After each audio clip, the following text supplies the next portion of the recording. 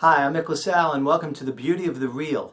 You're seeing two movies tonight by a great actress named Valeria Bruni Tedeschi, you've probably never heard of, or a lot of people have never heard of in the United States. The film you're about to see right now is called Five Times Two.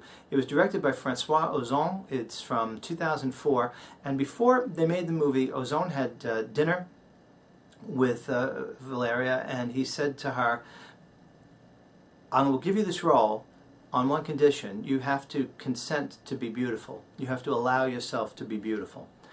And she knew what this meant because in her roles, she generally goes against glamour, goes you know to the frumpy, goes to the messed up, goes to the degraded, and uh, and he said, I don't want you to do that. I want you to to be beautiful. I want you to just bring on the beautiful from inside too.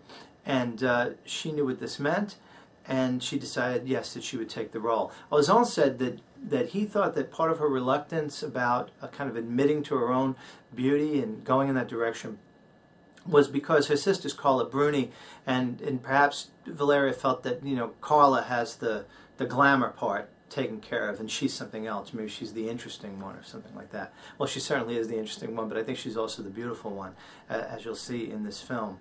Uh, this movie is uh, arranged in an odd way. It's about a marriage, great film about a marriage, but it's it's done uh, chronologically backwards. So it starts off with uh, with the divorce, and then it works its way through the courtship, and it uh, turns out to be a novel and, and, and very good way of telling this particular story because they did it that way, and because the passage of time, there's a passage of time, but it, it's actually backwards time, what they did is between the third and fourth episode, uh, they all went on diets. They took 10 weeks off, went on diets, and uh, so Tedeschi lost 15 pounds and does look radiantly young at the end of the movie, much younger than she does at the beginning.